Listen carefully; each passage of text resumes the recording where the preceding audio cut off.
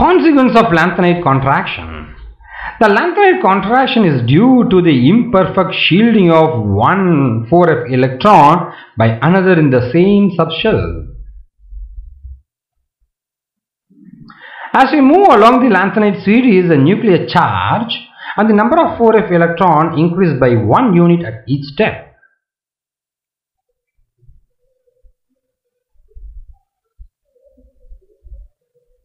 However, due to imperfect shielding, the effective nuclear charge increases, causing a contraction in electron cloud of a 4f subshell. So, let's talk about the consequences further. The first one is basicity of ions.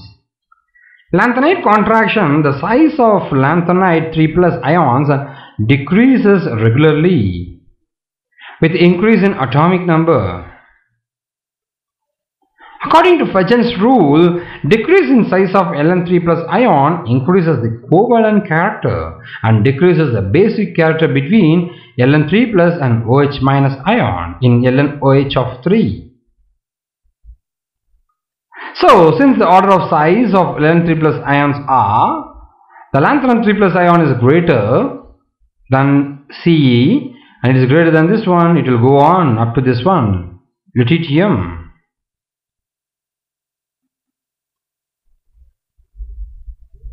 There is a regular decrease in their atomic radii, you are able to see it. Regular decrease in their tendency to act as reducing agent with the increase in atomic number. In lanthanide contraction, second and third rows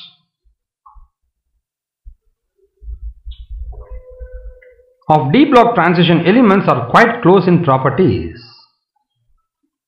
these areas. In lanthanide contraction, these elements occur together in natural minerals and are really difficult to separate.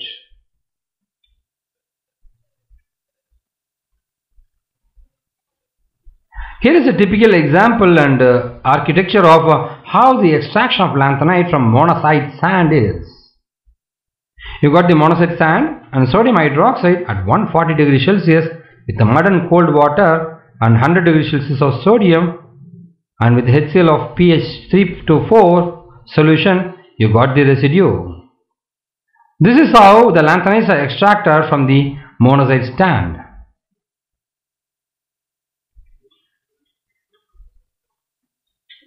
So the anhydrous fluorides and chlorides are heated under argon atmosphere in the presence of calcium at 127 degree Kelvin to get the individual metal.